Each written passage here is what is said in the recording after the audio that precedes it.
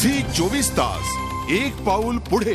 नाशिक शहरामध्ये सध्या वाहतुकीचा पुरता बोजवार आढळलाय महामार्गाच्या बाजूने असलेल्या सर्वच मार्गांवरती वाहनांच्या रांगाच रांगा लागत आहेत मुंबई सारख्या किंबहुना त्यापेक्षाही भयंकर वाहतूक कोंडीनं नाशिककर त्रस्त आहेत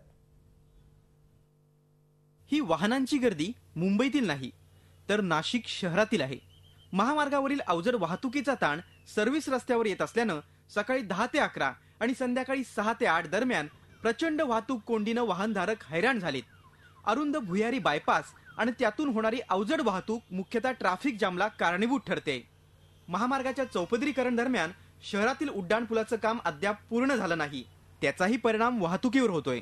एवढीच एक रिक्वेस्ट आहे का तिथून एक अंडरपास न देण्याविषयी बोगदा खालून काढून तिथून रस्ता सुर सुरळीत बनवावा. आणि वरचा ब्रिज लवकरात लवकर चालू करावा. तो अजून चालू झालेला नाही. त्याच्यामुळेच ही वाईट परिस्थिती आहे.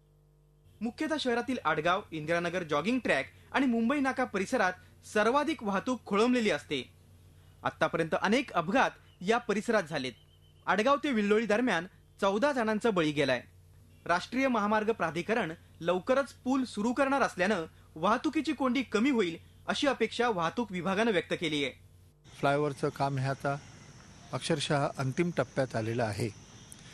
आणि लवकरच साधारण एक पंधरवाड्यामध्ये सदर फ्लायओव्हरचं उद्घाटन अपेक्षित आहे. राष्ट्रीय महामार्ग प्राधिकरणानंही या वाहतूक कोंडीवर उपाय शोधण्यासाठी समितीची स्थापना केली आहे.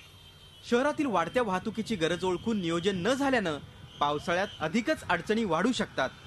योगेश खरे झी मीडिया नाशिक. झी चोवीस तास एक पाऊल पुढे.